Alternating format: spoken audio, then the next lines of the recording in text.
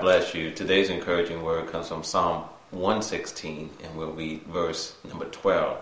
And it says, What shall I render unto the Lord for all his benefits toward me?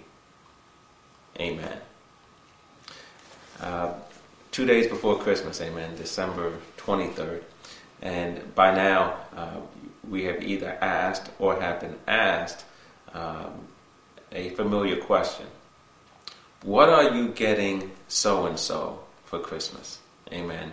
Be it your spouse, uh, your children, uh, a parent, a sibling, a loved one, a co worker, whatever the case may be.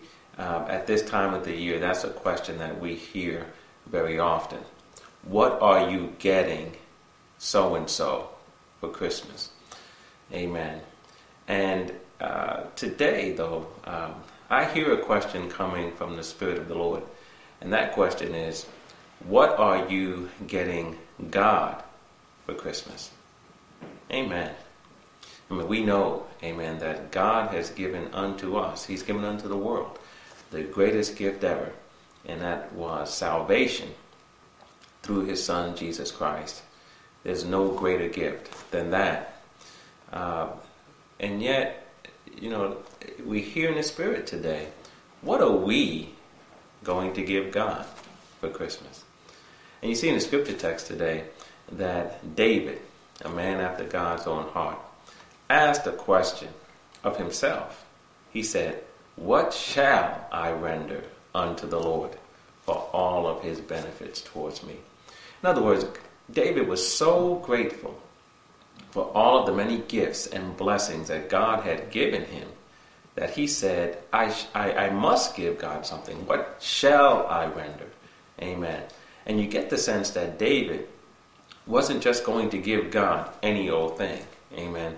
Uh, he, he wasn't going to simply give him whatever came to mind, but he was going to give it some careful thought, some meditation. He was going to spend some time knowing that although I cannot give God anything near what He has given me, I certainly want to give Him something that is pleasing unto Him. I certainly want to give Him something that matters. And so he asked himself, What shall I render unto the Lord?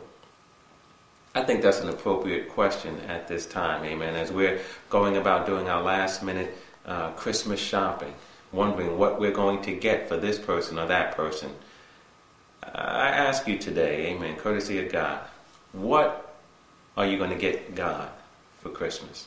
Amen. What shall you render unto the Lord? What shall we render unto God for the tremendous gift that He has given us? Perhaps it's going to be more time, more obedience, more praise, more worship. Perhaps it'll simply be more of yourself. But whatever it is, I encourage you today as you uh, make your last minute shopping plans to consider just exactly what you shall render unto the Lord this Christmas. In other words, what are you getting God for Christmas?